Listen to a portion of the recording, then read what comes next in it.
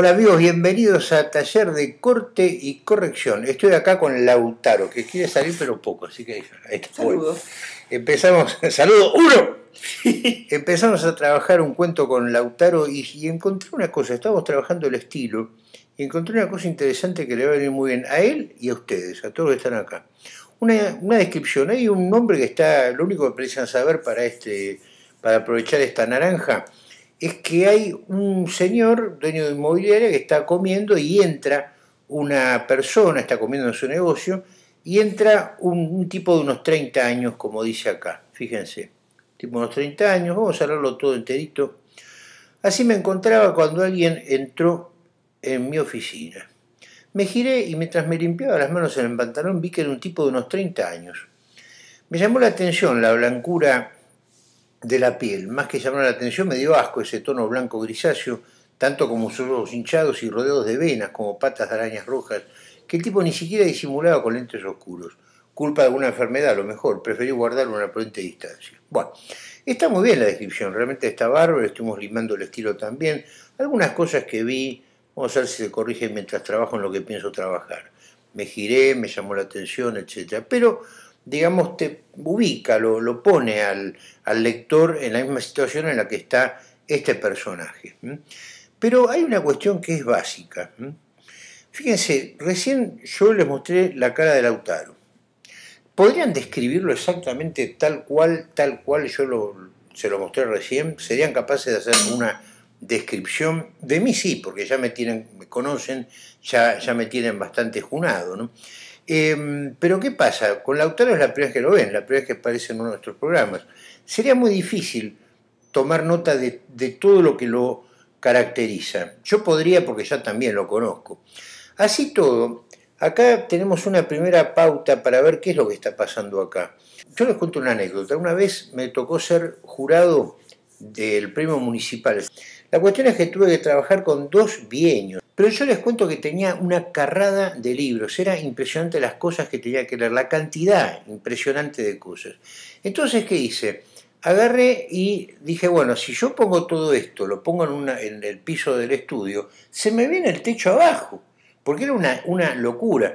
Fíjense, nosotros acá tenemos, a ver si se ve la cámara, una, una columna allá, otra columna por allá, otra por allá, otra por aquella punta y otro en esta zona al baño y otra más o menos por ahí en esta zona que está ahí. Espero que lo hayan visto. La cuestión es que se imaginarán lo que hice.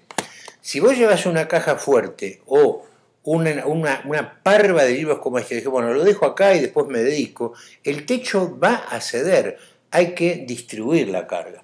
Y vos ya, Lautaro, que sos un tipo inteligentísimo, ya te estás apiolando, y ustedes también, se están apiolando de lo que yo le estoy mostrando acá.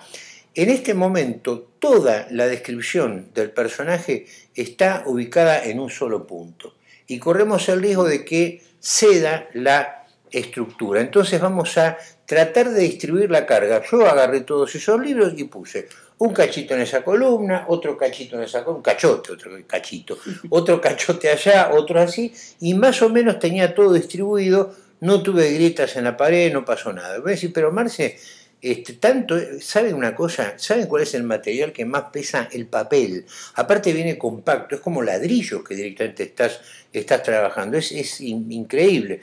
Hace muy poco Nomi me regaló un libro con las hojas plastificadas, una edición hermosa, todo lo que quieras, pero te digo, no, no sé si es por la edad, pero ya me estaba pesando el libro en la mano, ¿viste?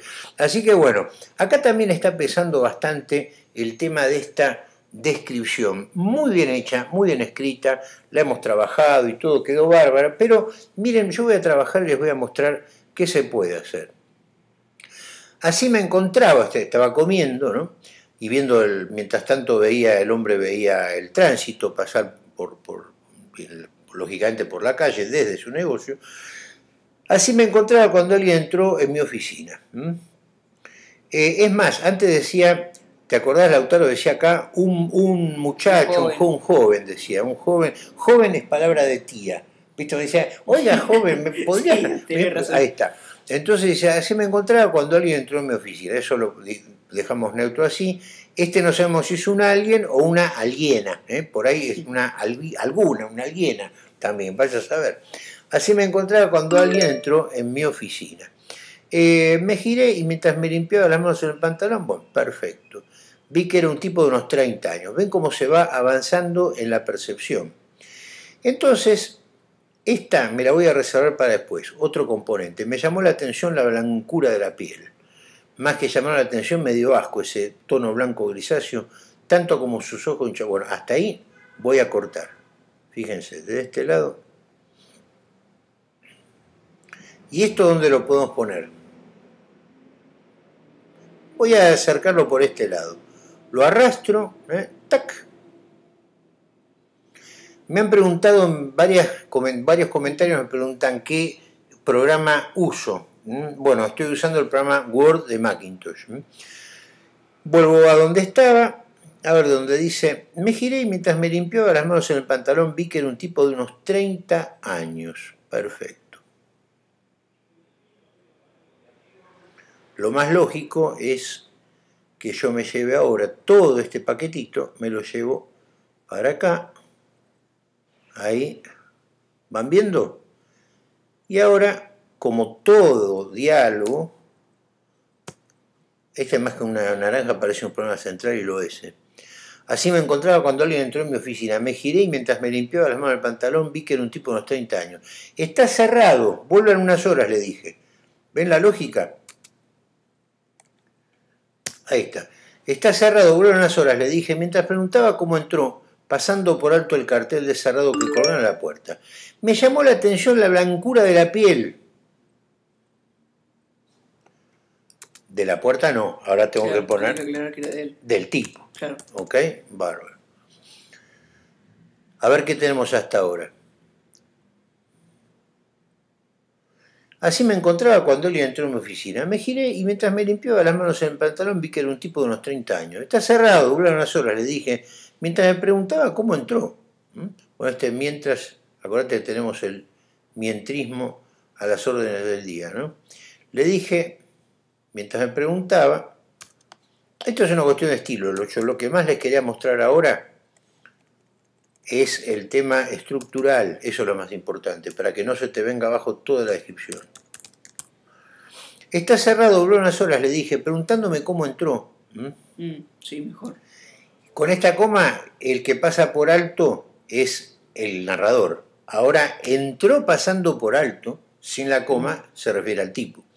Está cerrado, duró unas horas, le dije, preguntándome cómo entró pasando por alto el cartel de cerrado que decoraba la puerta. Cerrado, lindo truco, el de las versalitas, muchachos. A ver, de small caps, ahí está. Son las pequeñas mayúsculas estas. Ahí está, small caps. Las van a conocer también como versales. Miren lo que pasa con esto.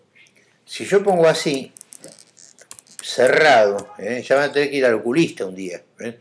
Estas son, las, son unas mayúsculas que tienen el tamaño de minúsculas. Mm. Por eso llaman small caps, pequeñas mayúsculas. Está cerrado, duró unas horas, le dije preguntándome cómo entró pasando por alto el cartel de cerrado que colgaba en la puerta. Me llamó la atención la blancura de la piel del tipo. Más que llamarme la atención me dio asco ese tono blanco grisáceo. No tengo tiempo, respondió. La propuesta lo vale, agregó mientras apoyaba los manos en la silla de los clientes.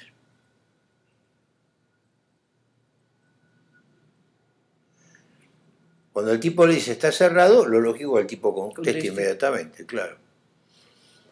No tengo tiempo, respondió. Vamos a darle un poco de continuidad acá. Pero créame que la propuesta lo vale.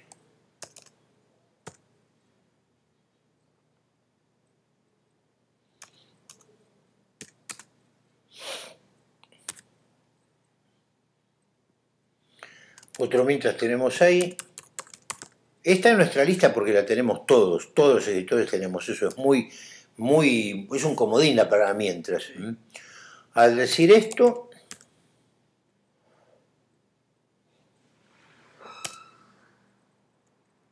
apoyo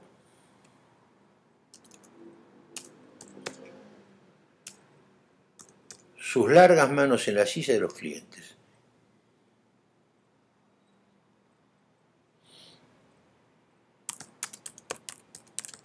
En el respaldo Sí. de una de las sillas de los clientes. Pues siempre se tienen dos, por las dudas que venga con la patrona, el futuro comprador del inmobiliario. Eh, no tengo tiempo, respondió, pero créeme que la propuesta lo vale. Si esto apoyó sus largas manos en el respaldo de una de las sillas de los clientes.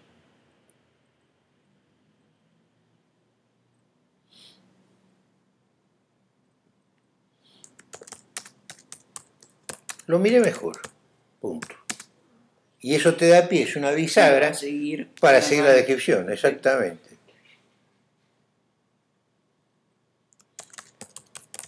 Impresionaban.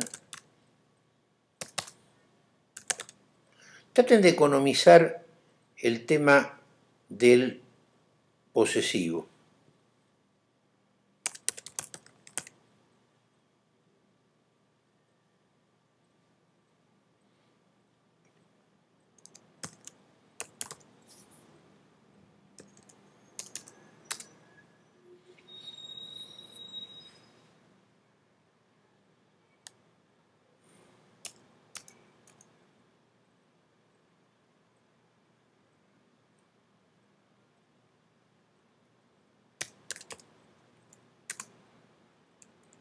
Lo puse en catalán.